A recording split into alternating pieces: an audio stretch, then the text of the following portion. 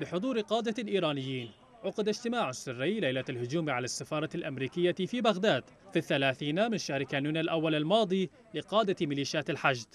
والهدف منه هو حفظ ماء وجههم بعد الاستهداف الأمريكي المباشر لعناصر تلك الميليشيات لا سيما بعد الغارة التي خلفت عشرات القتلى في صفوف ميليشيا حزب الله العراقي في القائم. أما عن كيفية الرد المنتظر فخلص الاجتماع إلى تنظيم تظاهرة سلمية داخل المنطقة الخضراء وأين؟ أمام السفارة الأمريكية في بغداد. والغرض منها دغدغة مشاعر عناصر الميليشيات الغاضبة وامتصاص سخطها بشكل سلمي دون أن يثير ذلك حفيظة واشنطن.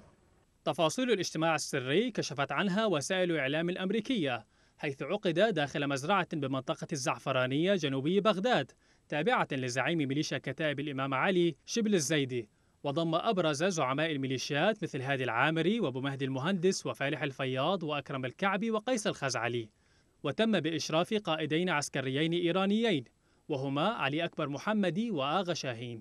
لكن ما يثير السخرية بحسب المصادر ذاتها هو تكليف فالح الفياض لإشعار القائم بالأعمال الأمريكي في بغداد عن مكان وموعد تلك التظاهرة الوديعة التي ستستمر لثلاث ساعات فقط وتقتصر على التجمع في محيط السياج الخارجي للسفارة مع ضمان عدم اقتحامها. أما هادي العامري فقد كلف بدور مماثل لإيصال رسالة بالمضمون نفسه إلى السفير البريطاني وسفراء دول الاتحاد الأوروبي وإعطائهم ضمانات بأن المتظاهرين لن يقتربوا من مقرات سفاراتهم.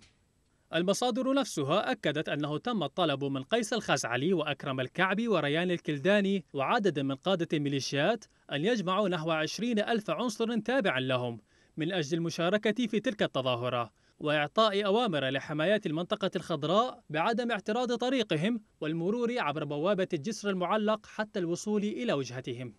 كما طلب المجتمعون من ريان الكلداني وشبل الزيدي توفير الدعم اللوجستي لنقل عناصر هذه الحشود وإطعامهم فضلا عن دفع 100 دولار أمريكي لكل شخص وأيضا توفير المكان لمن يريد المبيت في بغداد.